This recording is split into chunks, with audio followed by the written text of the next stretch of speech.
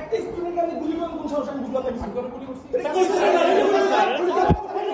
সম্প্রতি শ্রেণীকক্ষে শিক্ষার্থীকে প্রকাশ্যে গুলি করে সমালোচনার মুখে সিরাজগঞ্জের শহীদ এম মনসুর আলী মেডিকেল কলেজের শিক্ষক রায়হান শরীফ আর চাঁদপুরের শাহরাস্তিতে চলমান দাখিল পরীক্ষায় নিজ কক্ষের প্রিন্টারে ছেপে নকল সরবরাহ করে দুই বছরের কারাদণ্ডে দণ্ডিত হয়েছেন মাদ্রাসার অধ্যক্ষ সাইদুল ইসলাম।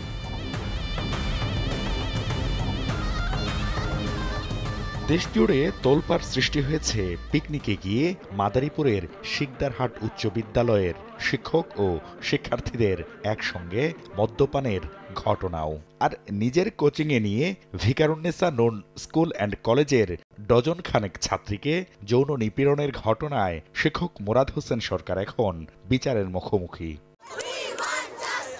শিক্ষক।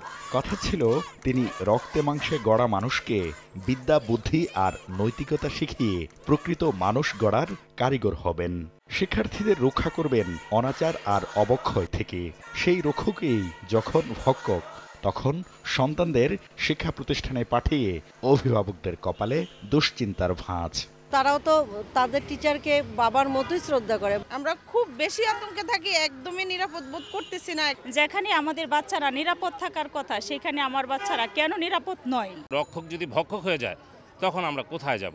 এক মিনিটে নগদ ইসলামিক অ্যাকাউন্ট খুলতে ডায়াল করুন চার ওয়ান সিক্স সেভেন হ্যাশ অপরাধ বিশ্লেষকরা বলছেন, সমাজে নানা অবক্ষয়ের ফলে মানুষ গড়ার কারিগর, শিক্ষকরাও জড়াচ্ছেন নানা অপরাধে। শিক্ষক কোনো কিছুই করবে না, সে একেবারে অপরাধের বাইরে থাকবে, এটিও মনে করা যেরকম ঠিক না। দ্রুত সময়ের মধ্যে এর বিচার কিংবা এর তদন্ত কার্যক্রম এটা সম্পন্ন করে বিষয়টিকে সুরাহা করার ব্যবস্থা করতে হবে। শিক্ষক নিয়োগে একাডেমিক ফলাফলের পাশাপাশি নৈতিকতার মানদণ্ডে উত্তীর্ণদের বাছাইয়ের পরামর্শ শিক্ষাবিদদের। শিক্ষক নিয়োগে স্বজনপ্রীতি পক্ষপাতিত্ব বা রাজনৈতিক প্রভাব এগুলোও কিন্তু যথাযথ শিক্ষককে নির্বাচনের ক্ষেত্রে একটা প্রতিবন্ধক। কিন্তু নাম্বারই তো সব নয়।